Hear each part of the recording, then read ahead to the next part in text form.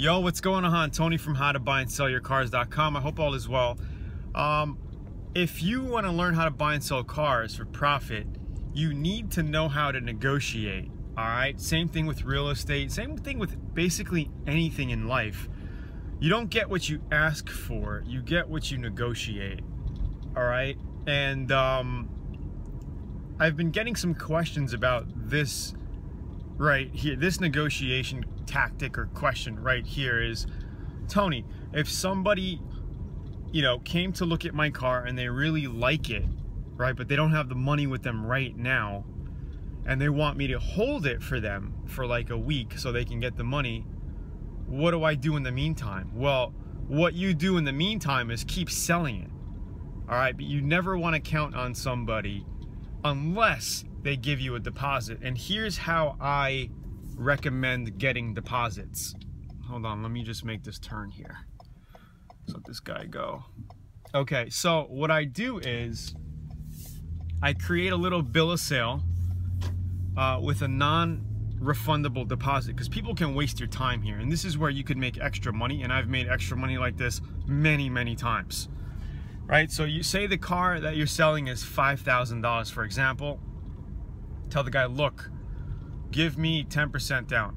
All right, give me 500 bucks down. I'll hold the car for you for you make up a specific time. If he's saying I only need seven days, tell him, all right, I'll give you 10 days.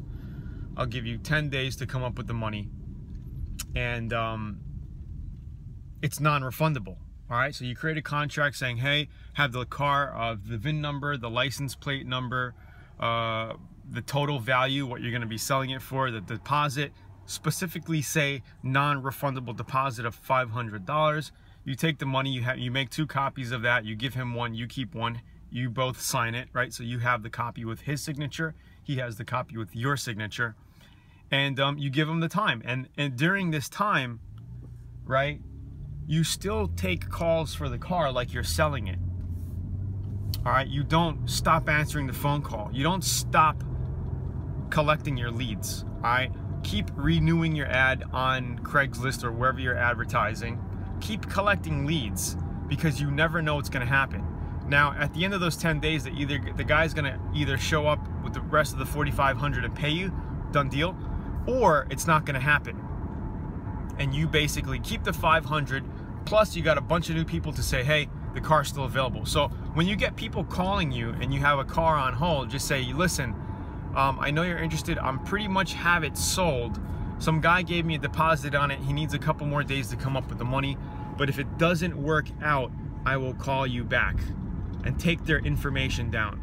This way, if it doesn't go through, you have a bunch of leads lined up ready to call back and say, hey, I got my car for sale. So hopefully you have like five or six people waiting.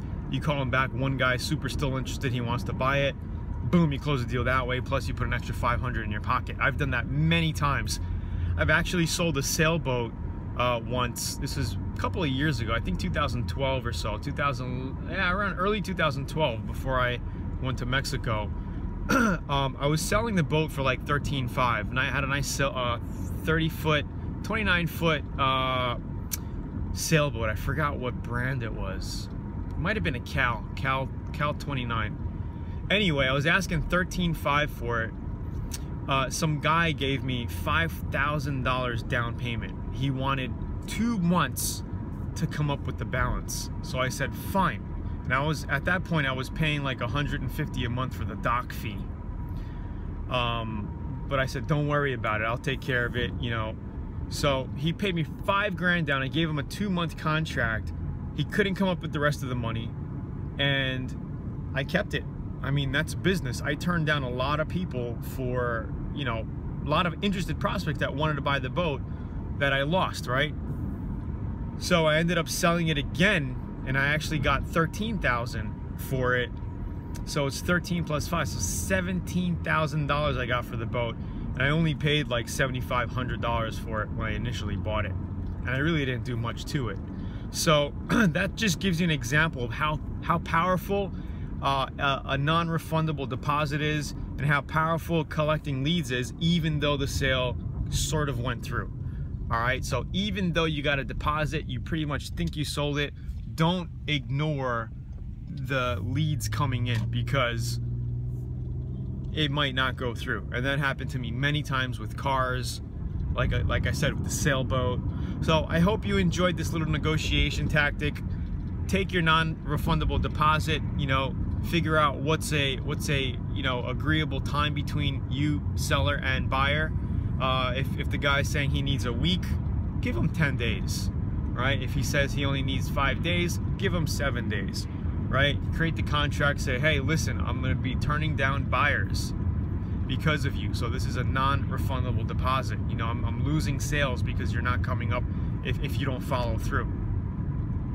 So do it that way. It works like a charm. I hope you enjoyed this quick little tip about negotiating and uh, holding your car.